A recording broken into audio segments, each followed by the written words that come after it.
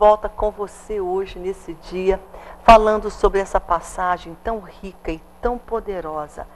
Na realidade, todo o livro de Romanos é um livro tremendo que a gente não pode, assim, de um momento, é, ler todo ele. É uma coisa que leva um tempo para a gente realmente mastigar, ler, sabe, entrar no nosso coração, aprender e viver essa palavra. Ela não é impossível, porque Deus capacita e fortalece cada um de nós a vivermos uma vida para Ele. Quem nos capacita a viver uma vida gloriosa, plena, feliz, realizada, uma vida que agrada a Deus, não somos nós. Mas a partir do momento que eu recebo Cristo, que eu aceito, que eu tomo a decisão de ter Cristo na minha vida, porque é uma decisão minha. Deus não empurra goela abaixo em ninguém essa decisão. Ele te dá a livre escolha de escolher Jesus. E quando eu escolho Deus na minha vida, Jesus, ele então passa a habitar, o seu espírito entra em mim, habita em mim. Eu sou residência do Espírito Santo no momento que eu aceito Jesus, que eu é, faço uma declaração de que Jesus é o meu Salvador. Porque a Bíblia diz que não há outro caminho a Deus. Jesus fala, eu sou o caminho para Ele, eu sou a verdade. Então não tem como chegar a Deus se não for por Jesus. Então quando eu chego a Ele e crendo em Jesus, o Espírito dele, o Espírito Santo, habita a minha vida. E esse Espírito Santo de Deus dentro de mim é que me capacita a viver uma vida de vitória. Uma vida de agradar a Deus. Eu não posso agradar Deus de mim mesma, com a minha força, com a minha capacidade, com a minha disposição, porque ela é pequena, porque ela é inválida.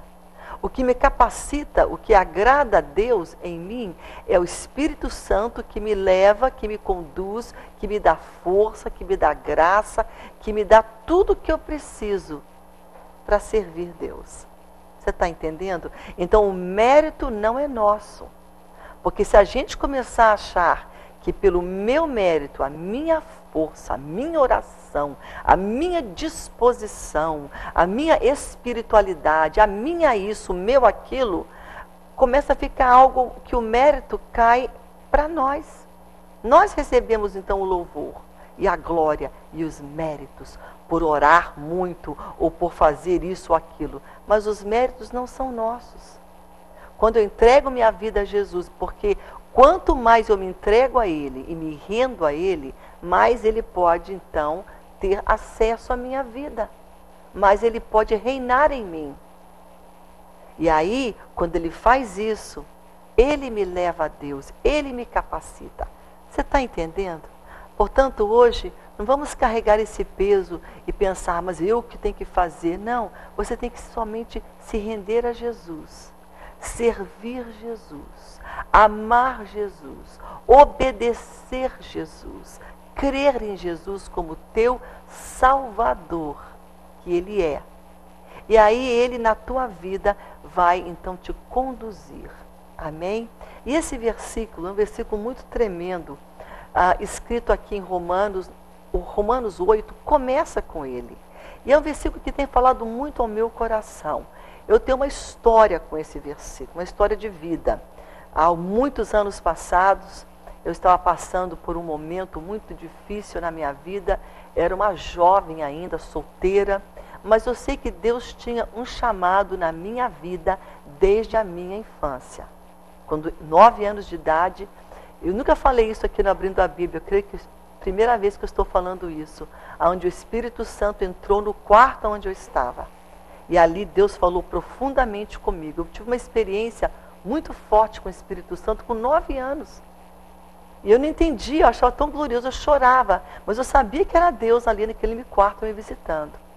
Mas quando eu fui crescendo, minha adolescência e na minha juventude, o inimigo vem como todos, contra a tua vida, contra todos ele quer destruir o plano de Deus, ele veio contra a minha também. E ele veio com pensamentos, ele veio com uma opressão muito forte. É, digamos que é uma opressão maligna.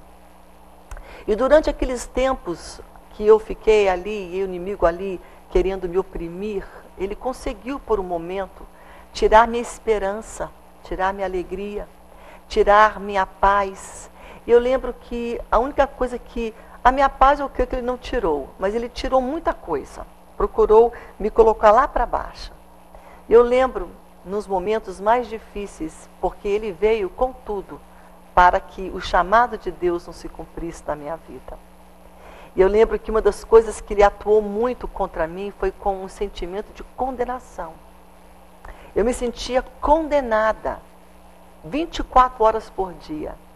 Porque o inimigo colocava pensamentos, colocava malignidade, me oprimia. Então eu achava que aquilo era meu, meus pensamentos, a minha. E ele, eu confundi um pouco. É, e ele veio então com as, aquele sentimento dele, porque Satanás já é condenado, já está fadado. Mas ele não quer sentir condenado e fadado sozinho. Ele quer que muitas pessoas sintam o que ele sente. E se ele puder, ele vai contaminar milhares de pessoas a sentir o que ele sente. O que, que Satanás sente? Condenação. Ele é condenado. Ele não quer ficar sozinho. Então ele vem com, essa, com esse veneno e ele tenta projetar na tua vida. E ele vai procurar te condenar. E você vai começar a sentir, porque é através dos seus sentimentos, na tua mente, ele vai começando a trazer, sabe, te condenando. Você faz algo, pensa algo, que muitas vezes ele coloca na tua mente, que ele te condena, que ele faz, que ele é cheio de artimanhas, e você acaba sentindo mal, sujo, condenado, um réu. E o inimigo sente isso, e ele quer que você sinta também. E se você não vigiar, ler a Bíblia, estar plugado com Deus, você vai deixar o inimigo ter aquilo que ele quer fazer, que é fazer com que esse sentimento também faça parte da tua vida. E eu lembro que uma das coisas que mais me levantou e mais me ajudou naquele período, e claro, eu tive vitória, porque eu estou aqui hoje como vitoriosa em Cristo. E Deus me deu vitória sobre aquilo. Mas Ele me deu vitória pela palavra dEle. Não foi em horóscopo, não foi lendo tal revista, não foi consultando tal isso. Não. A minha vitória veio na palavra de Deus. E sabe como ela veio? Eu lembro na casa da minha mãe, naquela época eu estava estudando em outro país, mas eu estava de férias. E fui passar um tempo lá na casa dos meus pais. E o inimigo veio lá, me condenando. E eu passei umas férias muito difíceis.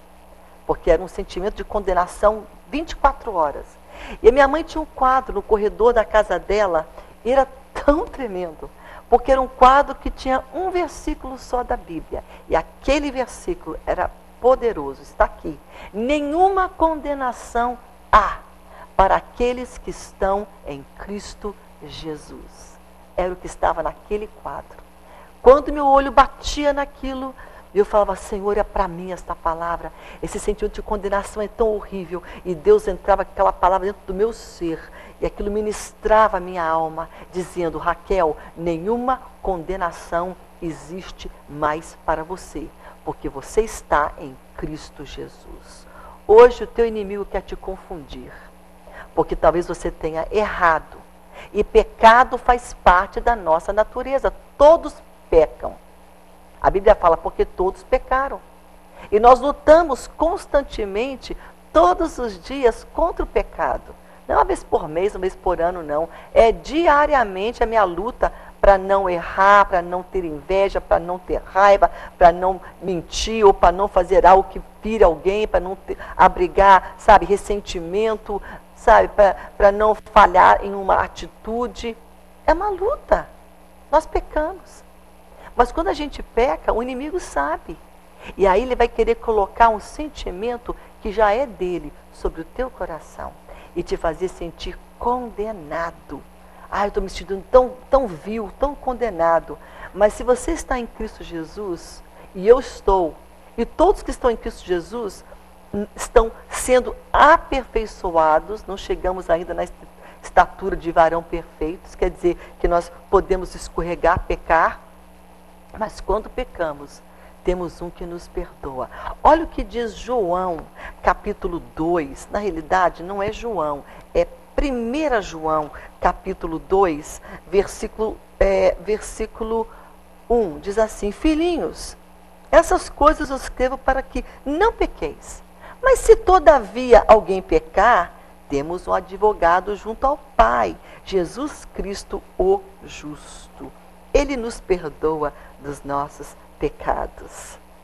Então hoje eu quero dizer algo para você que está se sentindo condenado, sentindo esse peso, sentindo sabe, alguém pontando o dedo para você, te condenando. Este alguém, pode escrever, não é Deus. Deus não condena você.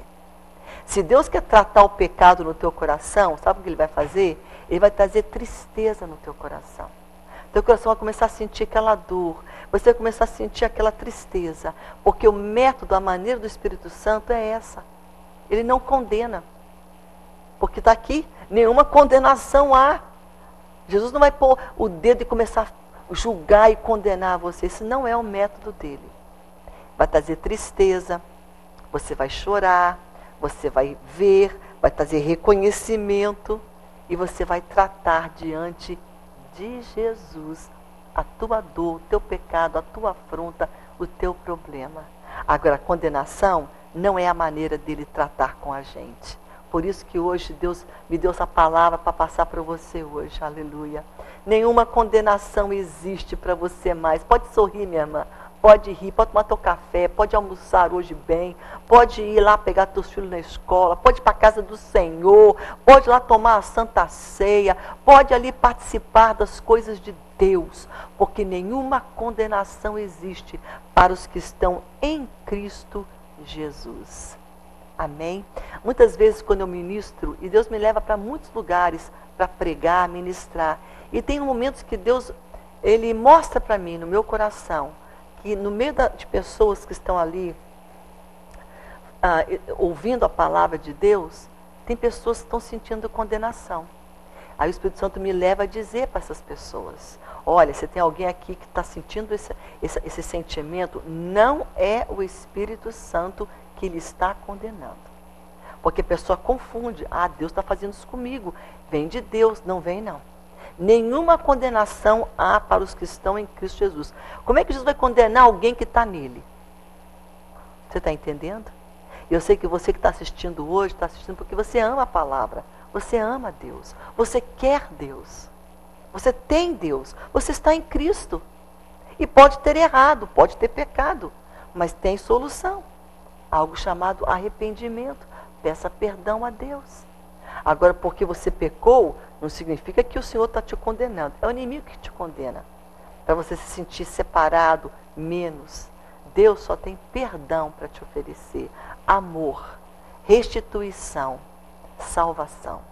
Amém? Então pega esse versículo, coloca ele no lugar que você possa ver, guarde ele. Eu vou ler ele mais, mais uma vez para a gente já ir para frente os outros versículos hoje, mas eu quero que você tenha ele no teu coração. Agora, pois, agora, hoje, neste momento, nenhuma condenação existe para você que está em Cristo Jesus, que não anda segundo a lei, né? Que não está preso, mas anda segundo o Espírito. Você está em Cristo Jesus. Ele te salvou.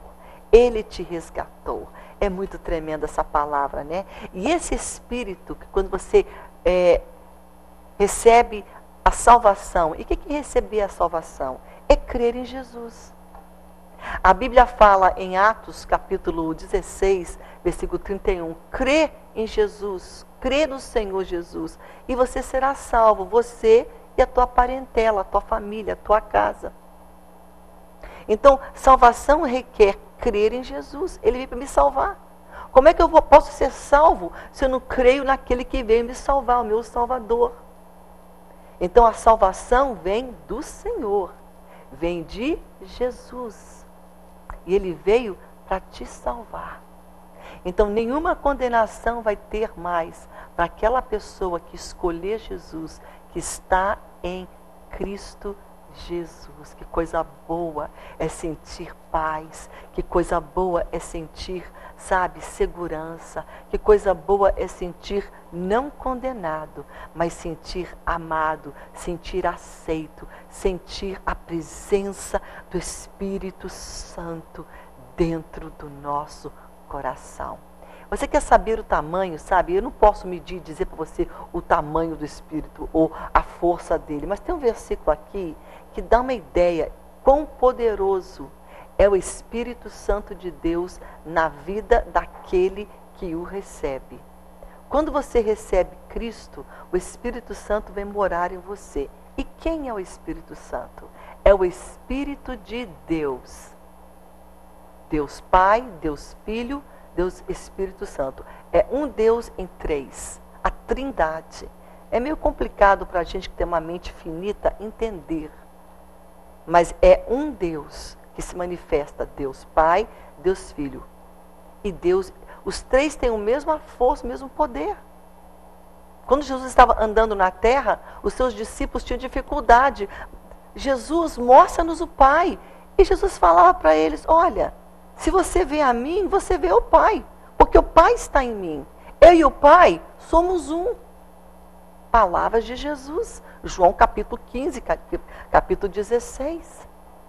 Então, as pessoas confundem, ah, não, um é aqui, não. Quem crê em Deus, crê em Jesus. Quem crê em Jesus, crê em Deus. E o Espírito de Deus habita o coração do homem e da mulher que o aceita, que o recebe. E não é qualquer espírito, não, não é um, uma coisinha, não. Olha a magnitude desse poder que habita a tua vida. Esse que tira essa condenação da tua vida, porque se você está em Cristo, nenhuma condenação tem para você. Aleluia. E olha o que diz o versículo 11: Se habita em vós o espírito daquele que ressuscitou Jesus dentre os mortos, olha, se habita em você em mim o espírito daquele, daquele quem? De Deus, que ressuscitou Jesus dentre os mortos, esse mesmo que ressuscitou a Cristo dentre os mortos, vivificará também o vosso corpo mortal, por meio do seu Espírito que em vós habita. Sabe quem habita em você? É o Espírito Santo, o mesmo que levantou Jesus da morte. Aqui habita aquele que ressuscitou a Jesus dentre os mortos. Isso é muito forte. Isso é muito forte. O Espírito Santo, que ressuscitou a Cristo, está dentro de você, dentro de mim. Ah, é muito forte, é muito tremendo. Por isso hoje, eu não sei com quem, para quem está chegando essa palavra hoje. Queria tanto ver quem você é mas eu não posso, só vejo uma câmera aqui. Mas o Espírito Santo está te vendo hoje e sabe a tua necessidade, sabe que você quer Deus, sabe que você desesperadamente tem buscado Deus, tem buscado Jesus, tem buscado paz, tem buscado algo diferente para preencher o vazio que está na tua alma. Quem preenche esse vazio da tua alma só tem um, o nome dele é Jesus. Por isso que ele fala: nenhuma condenação tem para você que está em mim. Eu sou o caminho, eu sou a verdade, eu sou a vida. Então hoje, vamos receber esse Cristo. Se você não, não conhece Ele ainda, Ele quer fazer parte da tua vida e da tua história.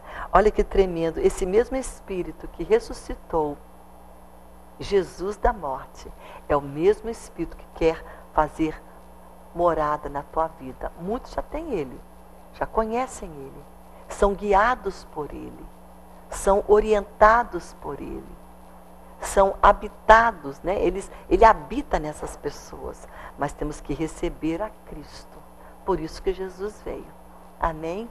É tremenda essa palavra de Romanos, capítulo 8. Só li dois versículos. Olha o que diz o 14. Pois todos os que são guiados pelo Espírito de Deus são filhos de Deus.